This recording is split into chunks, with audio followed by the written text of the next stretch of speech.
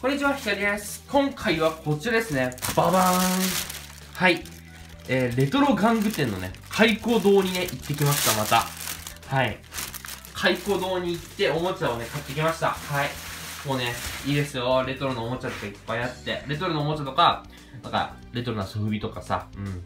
あって、オリジナルソフビとかあったりして、いいです。あの、桶川にあるね、レトロ玩具店なんで、あの、駅から徒歩で行けるので、ぜひおすすめです。はい。じゃあ今回買ったものをね、紹介したいと思います。まずね、超でかいね、ソフビを1体買いましたよ。これはやばい。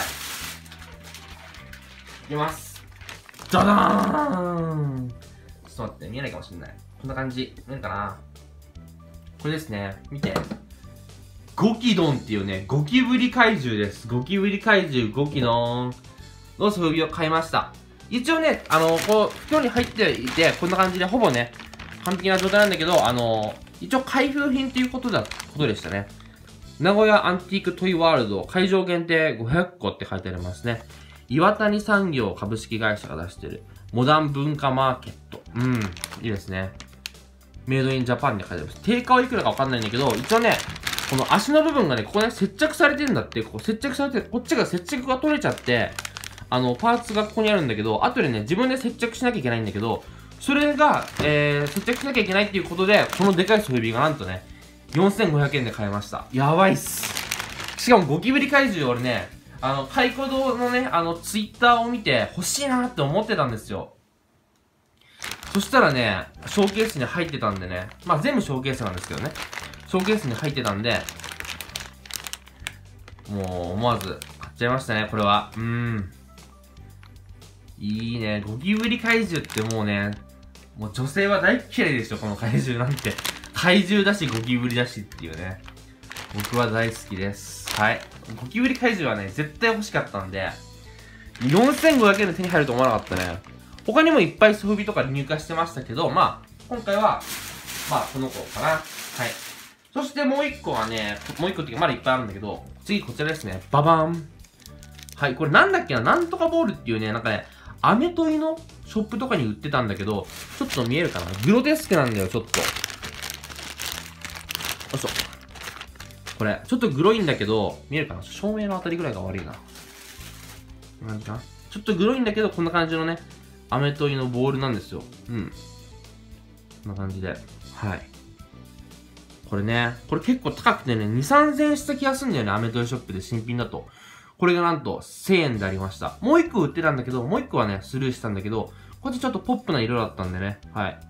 なんか耳から汁出てるし、目はぐちゃってなってて、こっちも汁出てて。まあ、ポップなね、カラーだったんで、これちょっと買いました。1000円ってめちゃくちゃ安いんですよ。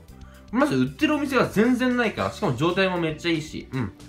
このボールを買いました。あれね、素材はなんだ、スポンジに近いかなっていう、なんかちょっと柔らかめのがあるから、投げて遊んでも痛くない感じはするけど、まあ僕的にはソフビとしてね、遊んでもいいかなと思いますね。ソフビと並べたりして、なんか、戦わせたり、戦えるかわかんないけどね。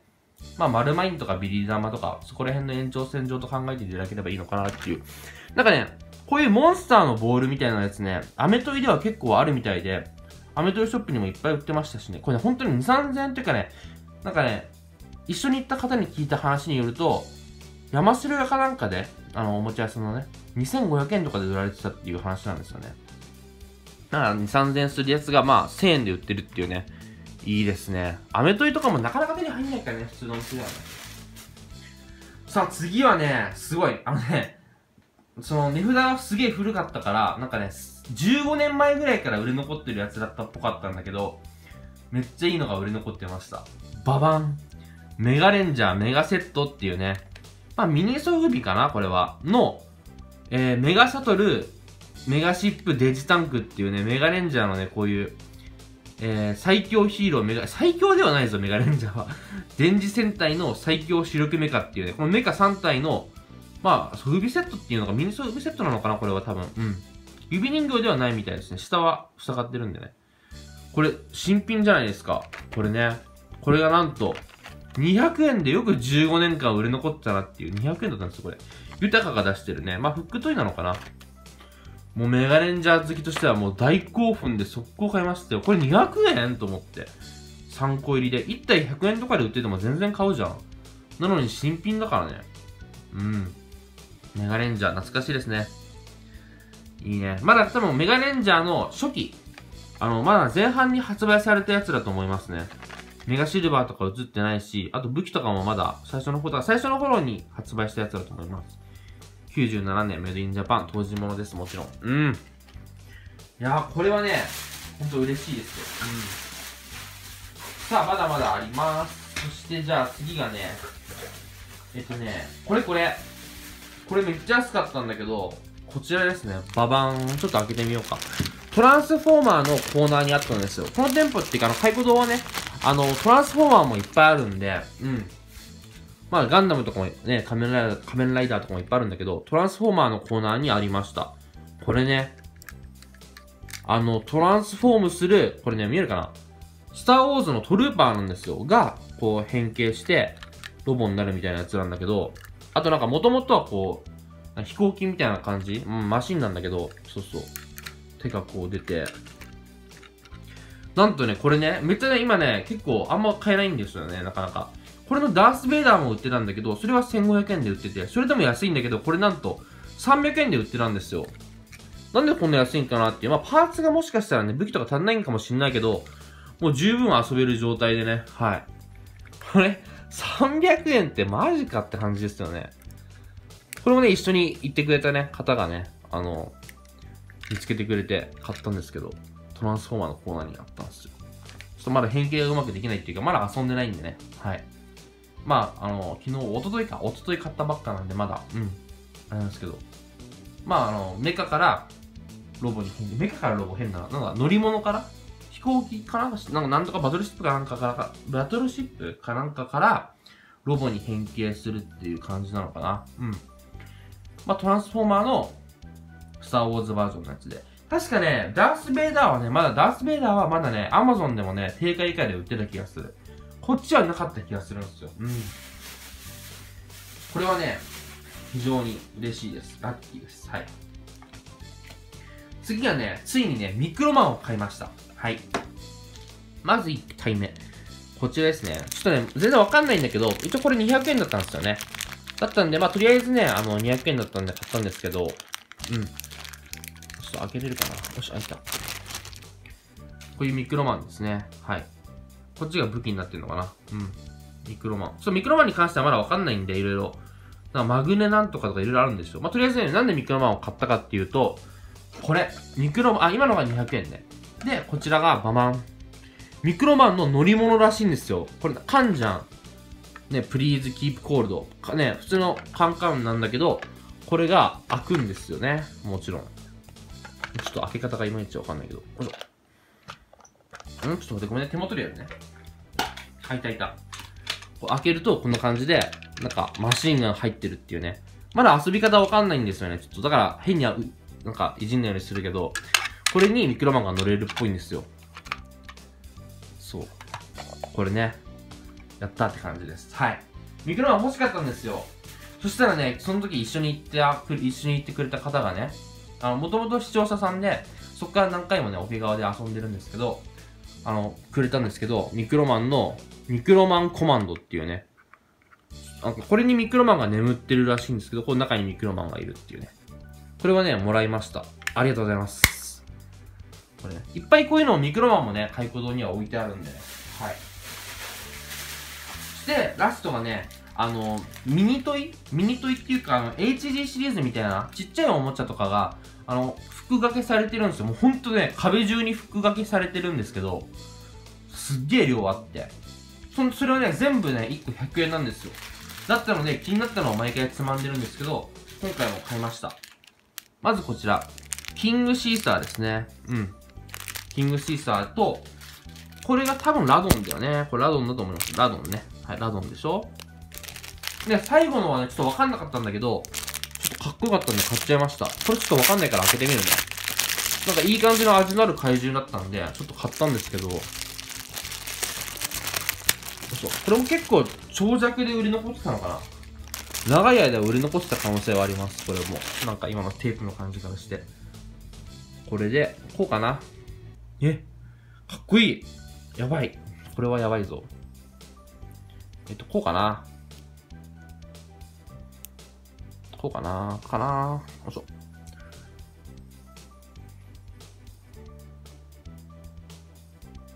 んな感じ。これで合ってるよね、付け方。何これ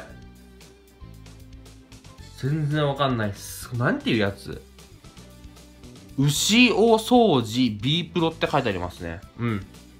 全然わかんないっす。ただ、かっこいい怪獣だと思うんですよね。味のある。おいしょ。ちゃんとはまんないかな。あれ、ちゃんとはまんねなかなかこれ硬いからね。おいしょ。あ、はまった。イエーイ。恐竜に近い怪獣ですよね。これいいですよね、これ。こんな感じで。うん。これが100円でした。まあ、あとは、ね、キングシーサーとラゴンが1体100円でね。で、ラストはね、昔から欲しかったガチャポンで探してたんだけど、全然なくて、これ。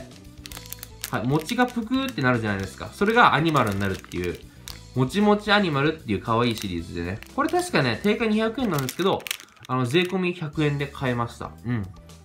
探してたんで、確かに1個ぐらい持ってたとは思うんだけど、うん。欲しかったやつなんで、まあ犬ってこの中で当たりかなと思うんで、嬉しいですよね。これ見ます？よいしょ、見えるかな？これ前回行った時なかったんで、多分新しく入荷したのとは思いますけどね。よいしょ。もちもちアニマル。もちもちアニマル。グーって書いてる。あ、これバンダイなんだ。俺エポックかと思ってた。こんな感じで。もどトイプードル餅、ポメラニアン餅、豆柴餅、ブルドッグ餅、パンダ餅。いやいや、パンダ以外全部犬じゃん。妄想造形マスコット。いいですよね。お餅とね、動物を掛け合わせたっていうね。これシリーズ続いてたのかな？どうなんだろうあ、ガシャポン、ネゴカフェだ。まだこの時2なんだ。今すげえ十何年とか出てますよね、確か。今回はトイプードル餅というね、かわいい。今はもう新品ではなかなかないから、これは新品だからいいんだけど、あの、まあ、中古店とか行って、なんか、ミニトイコーナーとか探せば、多分めっちゃ売れてるとは思うんで、まあ、なくはないと思うんですけどね。もうでも4年前の商品とかになっちゃうかな。可愛いですよね。うん。確か、ゆいこ特番かなんかでも回してた気がする。うん。可愛い。可愛いですよね。ほら。よくできてんだよ、これ。これ、正直キーホルダーいらないんですけどね。まあでも取っちゃうと穴開いちゃうんでね。ああ、やった。はい。これが今回の購入品と、まあこれはね、いただいたものなんですけどね。その一緒に行った方にね。はい。ゴキドンはやばいね。後で接着します。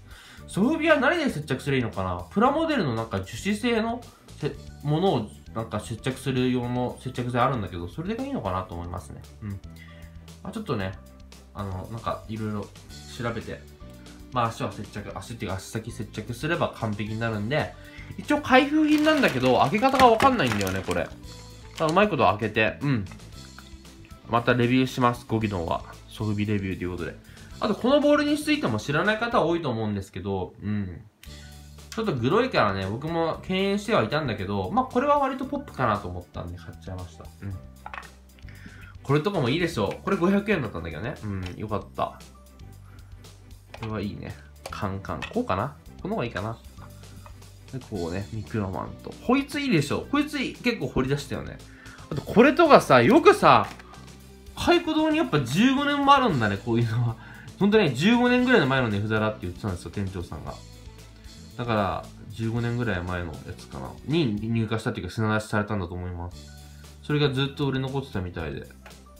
掘り出しましたね。いや、これ、いや、まあ普通の人はね、これをどう思うかわかんないけど、僕、ほんとメガレンジャー好きなんでね、一番初めに見た戦隊でもありますし、僕がね、3歳ぐらいの頃にやってた戦隊なんだけどね、ほんとこれは嬉しい。やっぱこのね、メガサトルっていうのがなかなかね、いいですよね。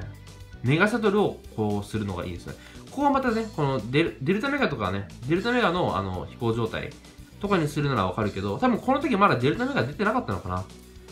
まあ、サイバースライダーっていうのもあるけど、まあ、メガシャトルにメガシップ、そしてデジタンクというね。まあ、一応ね、全部デラックス版持ってはいるんですけど、ただね、このデジタンクのね、あのデラックス版っていうか、ポピニカのやつかな？ポピニカじゃないな、ポピ、ん？ポピニカかな？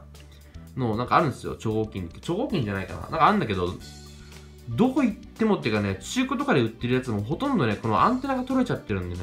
うん。僕のもアンテナが取れちゃってるんだけど、それがね、気がかりなんだけど、これは、もちろん新品なんでね、完璧です。いいね。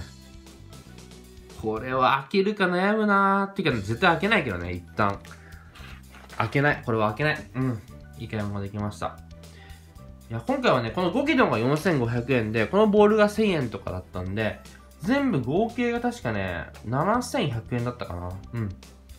いい買い物ができたと思います。ん？これ全部で7100円？本当に？そんなにいくか？あ、そんぐらいするか。5500円で、これで6000円で、まあ、で7000円か。うん、7800円。そうそうそうそう。いいですよね。いや、この300円はすげえお得だと思う。うん。あのね、桶川から本当に歩いて行けるんで、本当 Google マップとか使っても本当すぐ、桶川駅からまっすぐ行って左曲がって、あ、着いたって感じなんで、看板見えたみたいな。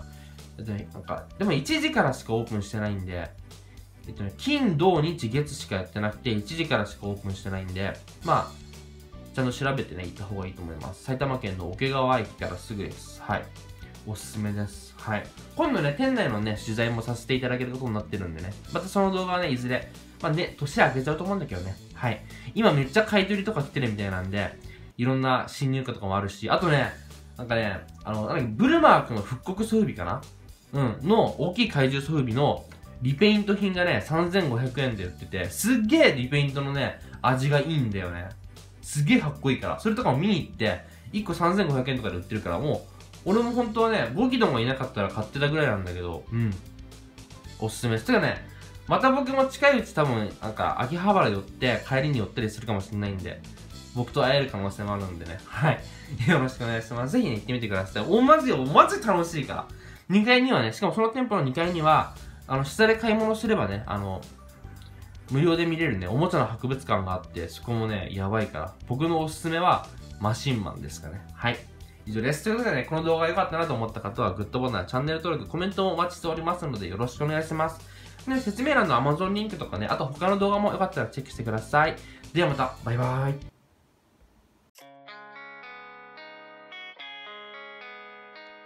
please subscribe.